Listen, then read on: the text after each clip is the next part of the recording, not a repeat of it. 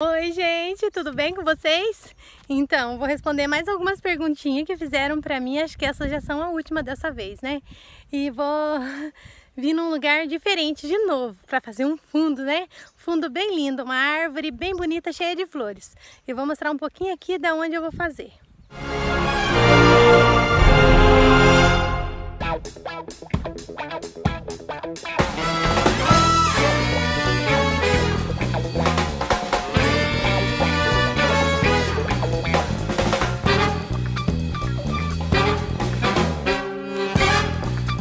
tal os pés de acerola, gente?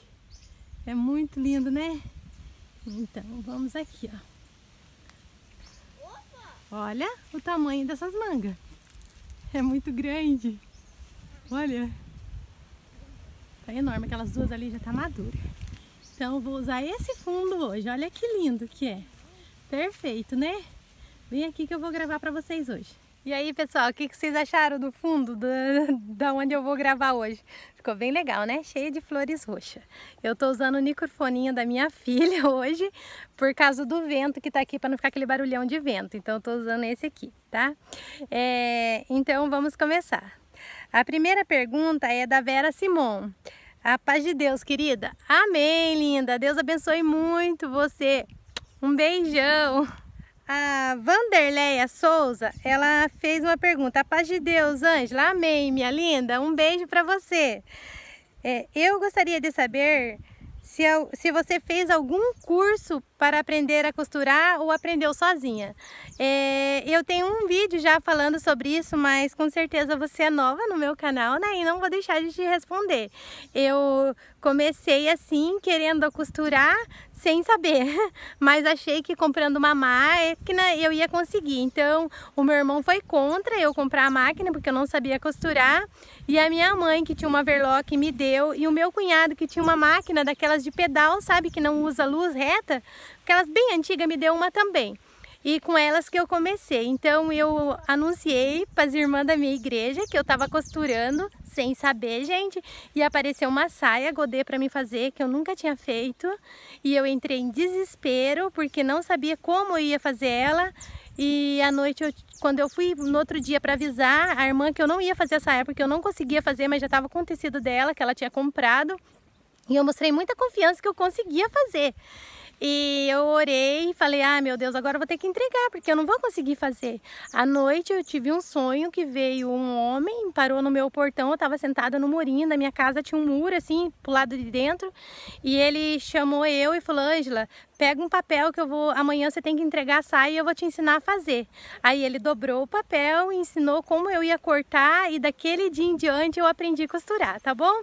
Então tudo que hoje eu quero fazer, o outro dia eu já começo a cortar e já consigo fazer sem ninguém ensinar, como se eu tivesse aprendido há muito e muito tempo, tá bom? Foi assim que aconteceu comigo. E ao mesmo jeito que eu entendo a como costurar, é o que eu tô passando para vocês, esses moldes, essas coisas que eu faço, são coisas que eu aprendo sozinha, tá bom? E eu passo para vocês, porque eu acho que é tão fácil para mim aprender, vocês vão aprender também, tá bom? A Célia Neves. Um beijão, Célia Neves. Vou responder a tua pergunta, tá? A paz de Deus. Amém, querida. Ela perguntou assim pra mim. É, a irmã esqueceu de responder a minha pergunta. O meu gurizinho aqui comigo. E a pergunta dela era, todos da sua família são batizados da CCB? É, a família, vamos dizer assim, da parte dos meus pais até a mim, é, eu tenho irmãos ainda, os mais novos, o Rafael e o Felipe não são batizados, tá? O, o Leandro ainda também é bem novinho, né? Não é batizado. O Estevam batizou com 14 anos. E o Alexandre, o meu irmão, que tem o Juliano, eu, o Juliano e o Alexandre, que o Alexandre mora em Curitiba. Ele batizou com 12 anos, mas depois ele se distanciou e hoje ele não vai na igreja mais, tá bom? A pergunta agora é da Márcia Regina. A paz de Deus, irmã Angela. Amém, querida. É, gostaria de saber se a irmã é selada com a promessa do Espírito Santo. Como foi? Na igreja ou em outro lugar? Deus abençoe grandemente. Um beijo. Um beijão, minha querida. O Arthur ali, ó, comendo a cerola. Então, é, eu falei uma vez sobre isso também, mas bem pouquinho, então vou contar. Eu era pequena ainda, né? Eu tinha oito anos de idade, fomos num culto. Nessa época, os meus pais, eles criavam, não é só meus pais, tá? Eu acho que todos os pais eram assim. Eu vou fazer 42 anos, então vamos dizer quase 37 anos, né, mais ou menos atrás, que eu fui selada com a promessa. Então faz muito tempo, né, gente? E naquela época, os pais faziam os filhos se comportarem dentro da igreja, né? Não podia ficar andando, nem brincando. A gente ia ficar quietinho do lado dos pais. E naquele dia era um dia de culto e estava bastante cheio, muito cheio. Então eles colocaram as crianças sentadas no púlpito. Quem foi nessa, quem não é da congregação e for lá na congregação dia, vai ver que o, o irmão que atende o culto ele fica em cima, daí tem uma escadaria ali que é onde as pessoas testemunham, né, os irmãos. E eu sentei ali. E quando foi na palavra, numa determinada hora, é, eu comecei a chorar, sem nada assim, sabe? Porque, gente, criança, né? Eu tinha oito anos, então criança não tem essa dizer que você fica totalmente parado. Não para, né? Às vezes você tá com o inar na mão, daqui a pouco você tá mexendo na bolsinha. Eu comecei a sentir uma alegria dentro de mim, sabe? E eu vi que, que aquilo que eu estava sentindo era diferente, não era uma coisa que eu costumava fazer. E de repente eu comecei a sentir uma alegria tão forte, tão forte, e na mesma hora a minha mente queria sair daquilo. E eu comecei a sentir medo e alegria, sabe? E nisso, quando eu fui falar uma palavra, a minha língua enrolou, eu não sabia o que estava fazendo, e daí eu tentava parar e não conseguia. Eu saí de lá falando e cheguei até na minha mãe falando e eu tentava explicar para ela, mas eu não entendia. Minha mãe começou a chorar, minha tia que estava do lado. E a minha mãe já era selada, sabe? Então foi uma glória maravilhosa. Quem já foi na congregação e sabe, hoje, hoje vamos dizer assim, né, gente, pelo mundo e pela situação que tá, não vou dizer que Deus se distanciou do povo, não. Eu acho que o povo mais se distanciou de Deus, né? Então você vai na igreja, você já não tem aquela comunhão perfeita de entrar dentro de um culto e falar assim, nossa, eu tô na presença de Deus, né? Um conversa para cá, outro para lá. Até a gente mudou muito, né, gente? Mudou demais a situação. Então, era um naquela época, nossa, o pai, nós ia até chegar na igreja brincando, chegar na igreja, o pai já dava um sermão, sabe? Olha, se comporta lá, hein, que Deus tá vendo, tem que ficar bem quietinho, nós estamos na presença de Deus. Então, você tinha aquele medo, né? Aquela coisa, assim, não é hoje. Hoje a gente já vai levar o filho, a gente já muda, né, gente? Só que, igual eu vou dizer, cada tempo é um tempo, né?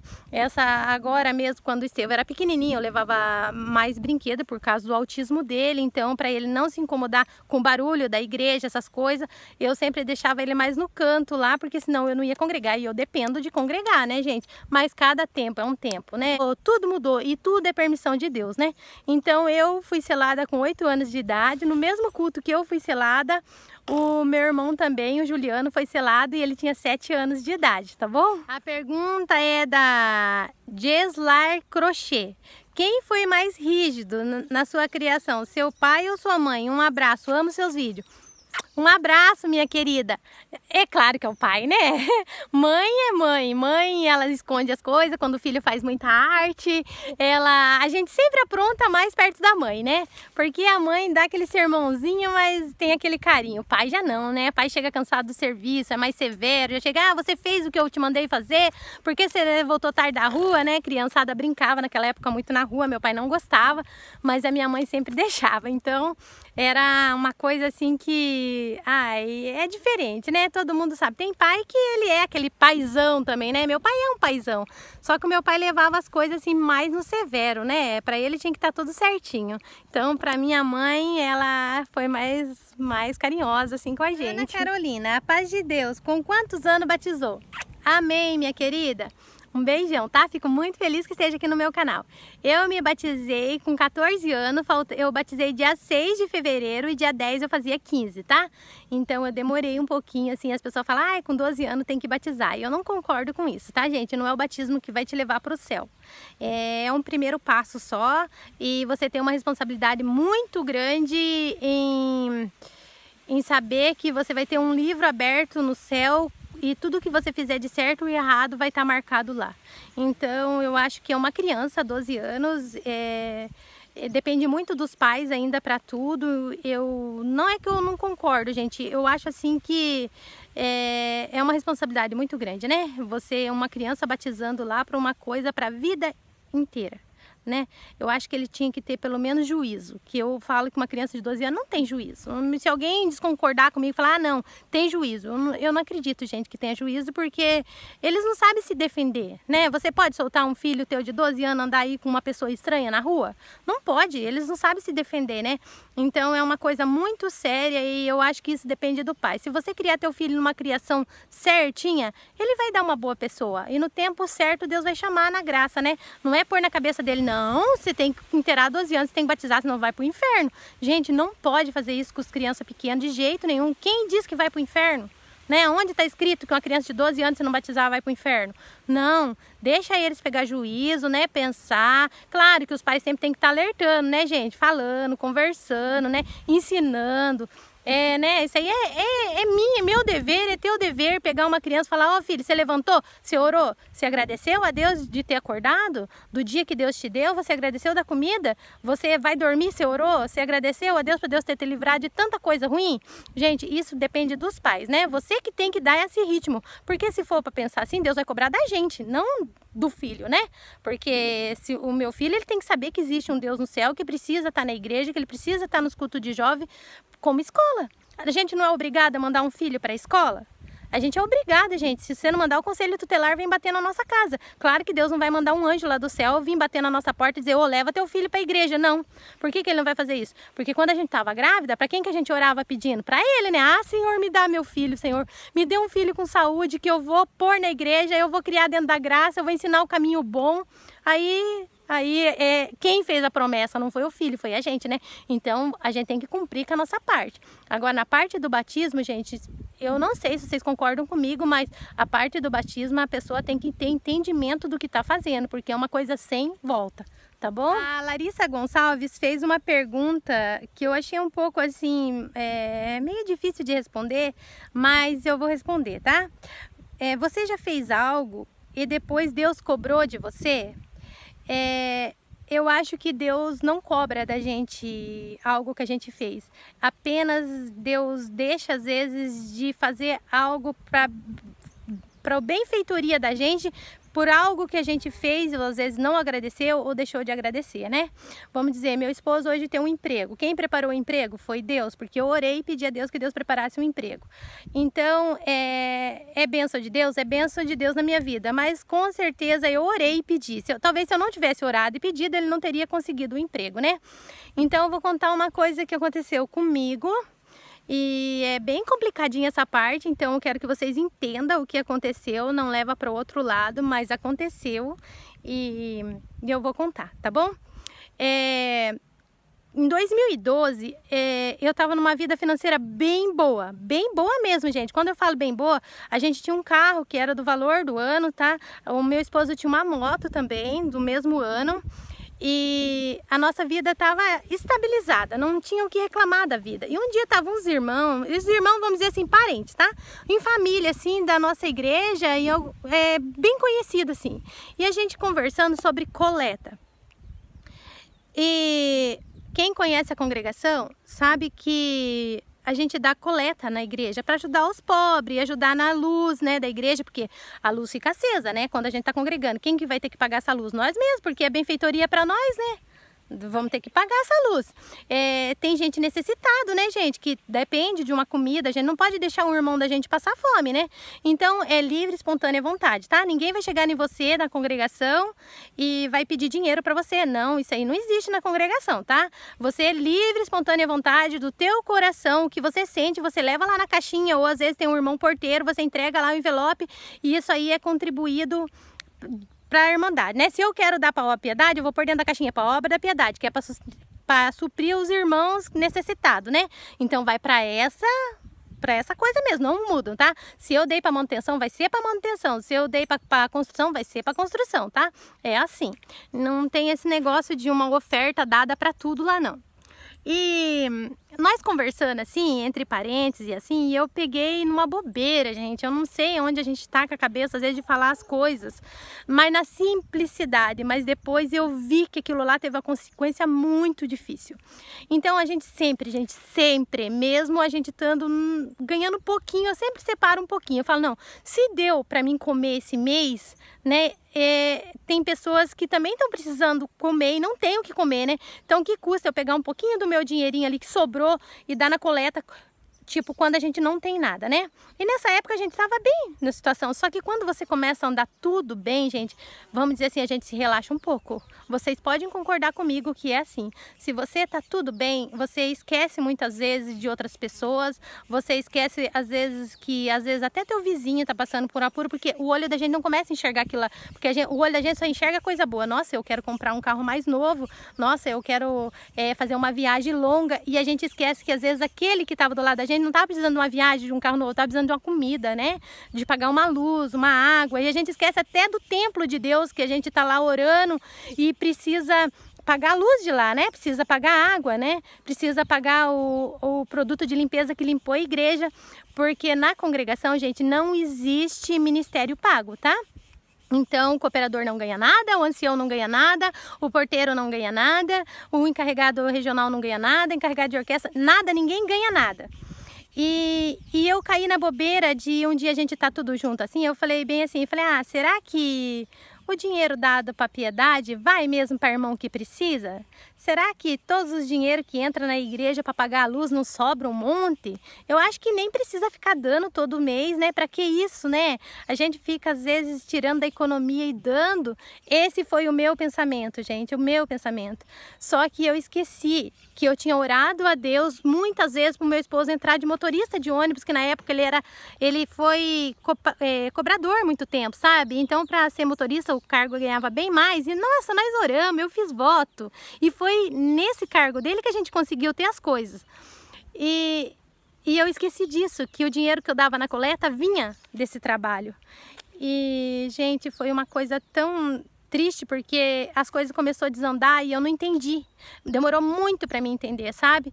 Daí eu pensei assim, falei assim, ah, acho que essas irmãs é meio para carne. Falei assim, sabe? Será que elas são espiritual mesmo? Elas sabem quando realmente uma pessoa tá precisando para ir lá atender? E falei isso, sabe? Uns concordaram, outros discordaram. Uns falaram assim: ah, por isso que eu já não gosto de dar dinheiro na coleta. Ó, pra você ver a confusão que acabou fazendo uma conversa dessa. E no outro dia, gente, o meu esposo amanheceu com uma dor de cabeça terrível e começou a ter crises nervosas, crises nervosas e a coisa foi piorando, ele foi ficando ruim e começou a ficar meio agressivo até em casa mesmo e foi encostado. Acabou menos de um mês, foi encostado da empresa. A empresa chegou, falou: não, ele tem que se tratar, não tá normal, ele tá dirigindo ônibus cheio de gente, tem que se tratar. Foi pra perícia, gente, e lá a coisa desandou. O que aconteceu? Ele foi pra perícia e a perícia não saiu. Então ele ficou sem salário da empresa e sem o salário da perícia que podia ser encostado, né? E passou um mês, as coisas da minha casa começou a acabar, passou dois meses, acabou tudo tudo, tudo, tudo, tudo. Só que eu nunca fui de contar para minha família, ô, oh, tá faltando isso, tá faltando aquilo, sabe? Nunca cheguei a falar nisso. E, gente, era é isso que eu queria falar para vocês, que às vezes vocês não vão entender. Era época na, na, no mercado da Páscoa, né? Existe de ovo da Páscoa, essas coiseiras aí, né? Que é um pouco é comercial, vocês sabem disso, né, gente? E veio um folhetinho voando lá de vizinhos e parou no portão da minha casa. E o Leandro, ele tinha quatro anos. Ele pegou esse folheto e viu um ovo da Páscoa que estava lá. E ele, mamãe, eu quero, mamãe, eu quero. E eu pegava e embrulhava esse papel e jogava fora. Falava, não, não vai dar. O outro dia estava na mão do menino de novo o papel desse ovo. Eu falei, meu Deus do céu. E ele começou a dar febre. Então eu comecei a entrar em desespero, sabe? Falei, misericórdia, será que esse piá vai ficar doente por causa de um ovo, né? E, e daí eu falei, não, mas eu não posso nem comprar ovo. Não tinha... Gente, pra vocês verem a situação que eu fiquei depois de dois meses, eu não tinha mais nem sabão em pó para lavar roupa, não tinha sabão para lavar louça. A última comida que eu tinha feito para as crianças era uma polenta, não tinha mais nada. E daí tinha muita roupa para lavar. Eu peguei um copo e fui fui pedir para minha cunhada, sabe, sabão em pó. Falei, eu vou lá na casa dela, que ela morava bem próxima de mim. E só que, gente, eu vou falar para vocês, minha família sempre foram muito unidas, sempre me ajudou. Mas quando Deus quer mostrar que a gente tá errado, ele fecha os olhos das pessoas, a pessoa não enxerga a gente não, gente. Não enxerga se Deus não deixar enxergar. Então eu catei meu copo e fui na casa dela. Quando eu cheguei na porta da casa dela, ela estava saindo. Daí eu falei, ela falou, Ângela, você veio aqui em casa, você quer alguma coisa? Eu falei, não, não, eu só ia tomar um café aqui junto com você, que eu sempre tomava café com ela, né? Daí ela falou, ah tá, mas eu tô indo, entra aí dentro de casa que eu tô indo lá no mercado comprar um sabão em pó e já venho. Mas era bem o sabão em pó que eu ia emprestar dela, sabe? Um copo para me lavar minha roupa. E ela saiu e na frente da minha casa ainda estava em fase de construção, assim, sabe? Tinha um morro muito grande eu, o Mael, ele tava num vizinho bem para cima lá, que era irmão da nossa igreja também, foi lá, ele tava é, desaterrando um, um pedaço do terreno, o Mael foi lá conversar com ele, sabe? E eu sentei nesse barranco e comecei a chorar, sabe? Eu comecei a chorar, chorar e, e eu entrei em desespero, ver a situação nossa e, e eu sentei, daí a hora que eu sentei eu falei, meu Deus do céu, nunca vai existir ajuda pra gente, porque o carro nosso é do ano, né? O Mael tem uma moto do ano, a nossa casa é boa. Quem que vai enxergar que a gente tá com, com a situação que tá, né? O Leandro com aquele papel na mão. E eu comecei a ficar em desespero, sabe? Eu sentei naquele barranco e comecei a chorar.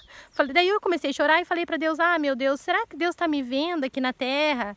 Sabe? Será que ele tá me enxergando aqui eu nessa situação?"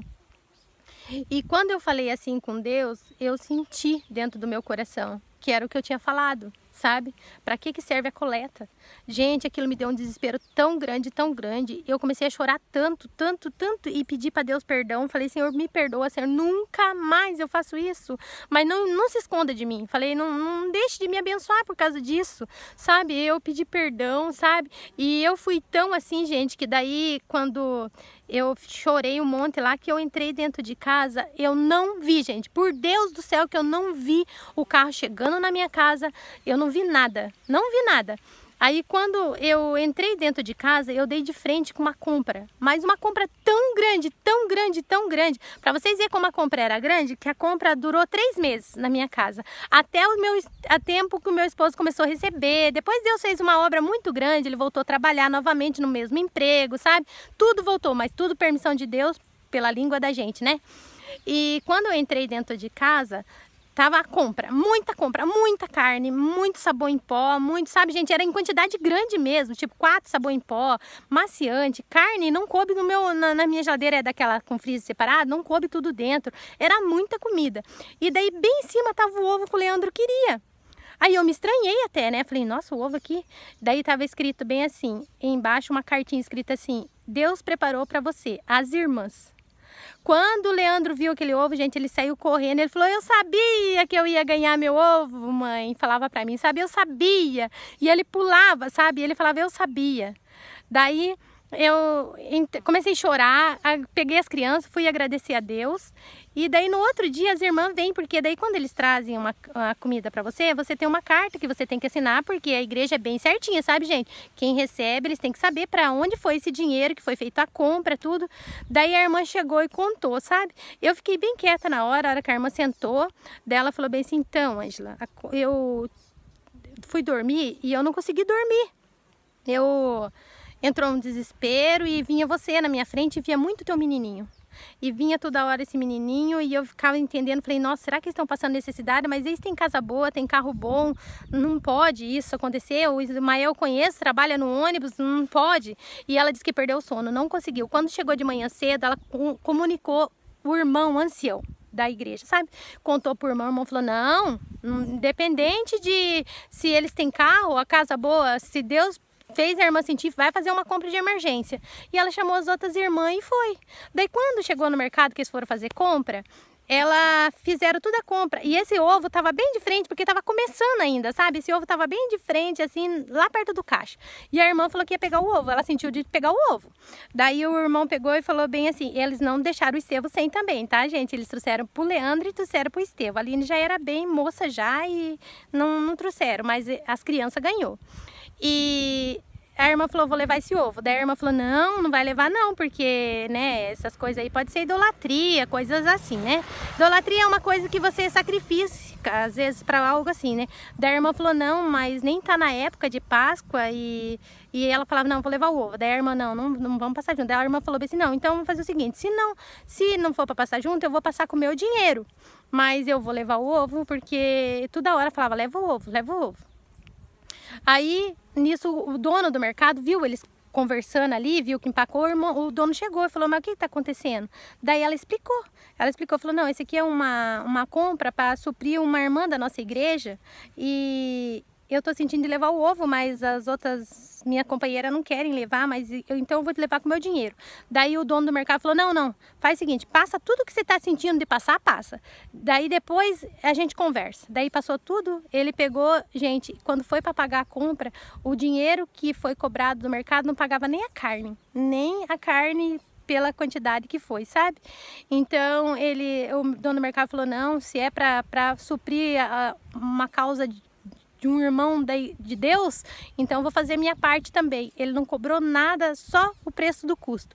Então, gente, foi uma obra maravilhosa. Daquele dia em diante eu entendi que Deus é Deus, que você jamais tem que pensar muito o que a gente fala com a boca, mas não que ele cobra, sabe? Ele apenas distancia de uma palavra que a gente fez. Eu fiz um voto para Deus, se Deus arrumasse um emprego, Deus preparasse, eu sempre ia estar tá ajudando, sabe? Então a gente não pode esquecer do que a gente fez, gente. O dia passa, mas não podemos esquecer né? Porque, tipo, essas frutas, né, do meu, do meu, do meu sítio, para quem que serve essas frutas? Não é para mim? Quem deu a vida para a árvore? Foi Deus, mas Deus deu a fruta para mim comer. Por que que eu não vou agradecer Ele, né? Então, eu levei muito isso, sabe? E é a mesma coisa, uma pessoa faz mal pra gente, às vezes, né? Uma pessoa, às vezes, quer tanto mal da gente, a gente vai orar, né? Eu não posso pedir vingança para Deus. Ai, Senhor, se vinga dela. Não, porque se eu pedir vingança, gente, eu tô querendo mandar em Deus. E não é assim que funciona com Deus, né? Eu tenho que pedir para Deus misericórdia. Ah, Senhor, muda o coração dessa pessoa, coloca um coração bom, ajuda, Senhor, que, que ele esqueça dessas maldades, né? Eu não faço nada de mal porque que ele é assim, né? A gente tem que pedir assim. E se um dia Deus cobrar dessa pessoa, eu não posso ficar feliz de ver essa pessoa sofrendo. Ah, ele tá pagando, ele era mal para mim. Não, gente, ele é um ser humano igual a gente. Não podemos, a gente tem que pedir a Deus misericórdia, falar, ah, Senhor, ajuda, né? Ele tá passando por necessidade, agora numa situação tão difícil, ajuda ele. Não é fácil ver um vizinho da gente sofrendo, ver um amigo da gente sofrendo, né? Então a gente não pode ser assim, gente, invejoso. De jeito nenhum, Deus não se agrada. Deus só vai abençoar a gente se a gente tiver um coração bom. Se você tiver um coração bom, as coisas boas vão vir na tua vida automaticamente. Então, gente, esse foi o meu vídeo, tá? Espero que vocês tenham gostado do meu vídeo. Só tô contando uma história porque pediram para mim contar algo assim e é o jeito que eu penso, tá? Um beijão para todos vocês. Deus abençoe cada um de vocês. Quem não é da congregação, gente, esses, essas perguntas, a maioria que fizeram para mim foram da congregação, tá bom? Quem não é, quiser um dia ir congregar na congregação, vê perto da tua casa onde tem uma igreja e congrega. Vai lá fazer uma visitinha para vocês ver como que funciona a doutrina, tá? Como que funciona a parte ninguém tem salário, como que é a vida, como que é a união, tá? É muito bom. Um beijão para todos e até o próximo vídeo. Tchau!